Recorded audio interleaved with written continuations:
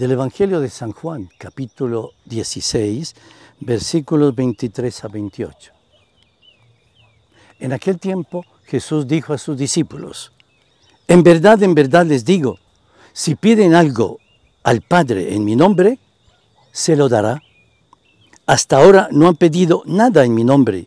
Pidan y recibirán para que su alegría sea completa. Les he hablado de esto en comparaciones. Viene la hora en que ya no hablaré en comparaciones, sino que les hablaré del Padre claramente. Aquel día pedirán en mi nombre, y no les digo que yo rogaré al Padre por ustedes, pues el Padre mismo los quiere, porque ustedes me quieren y creen que yo salí de Dios. Salí del Padre y he venido al mundo, otra vez dejo el mundo y me voy al Padre. Palabra del Señor. Gloria a ti, Señor Jesús.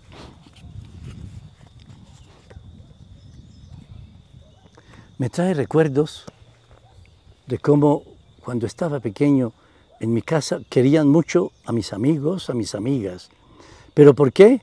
Porque decían mis padres, a esos muchachos y a esas chicas las queremos porque te quieren mucho. Es lo que dice Jesús. Mi Padre los quiere, los ama a ustedes, porque ustedes me aman. Quien ama a mí es amado del Padre. Tiene la certeza de que el Padre lo quiere. ¿No te parece una confesión de amor maravillosa?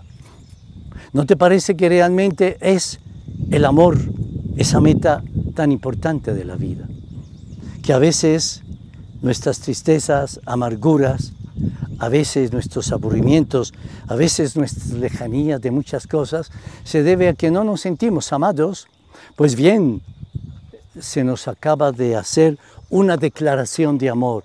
El Padre los ama, yo los ama, el Espíritu Santo los ama. O sea, nosotros somos caminantes del amor, ¿verdad?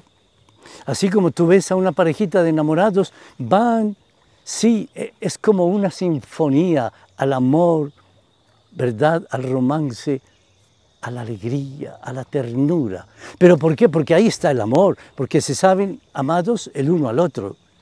El cristiano debiera caminar así, sabiendo que en todo y por todo y en todas partes, aún en el triunfo como en el fracaso, aún en el dolor, en la enfermedad o en la salud, Dios nos ama nos guía y sobre todo nos lleva a la vida plena. Gracias Señor, al terminar esta semana sentimos tu amor y tu gracia. Gracias Señor a quienes nos permiten hacer nuestras grabaciones en este bello lugar por su generosidad. Señor, que tu gracia cada día nos siga bendiciendo en nombre del Padre, del Hijo y del Espíritu Santo. Amén.